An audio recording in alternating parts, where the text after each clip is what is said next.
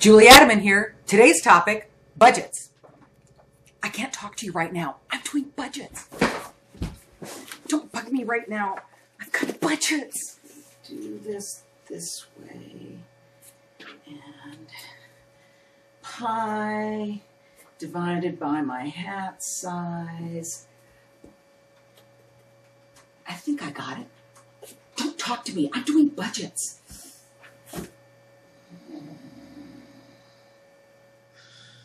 Look, I know budget time is stressful, but let's face it, you did it to yourself. Why? Because you wait too long to start the process.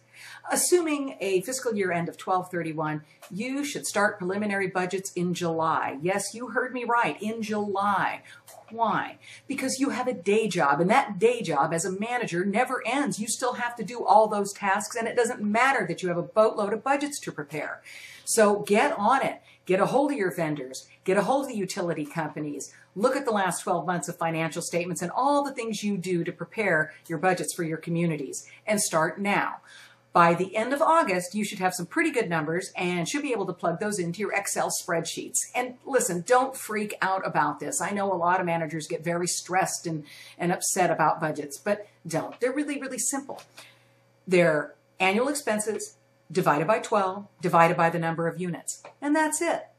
So when the September board meeting comes around, You've done all this and it will be able to be presented to your boards or your budget committee. So you've de-stressed yourself by giving yourself a longer lead time and you've given your boards more time to noodle around with the numbers. So let me think. Less stress for you, better service to your boards. I guess that's all in a day's work for you, isn't it? Get on your budgets. It's July already. Thanks for watching. Have a great day.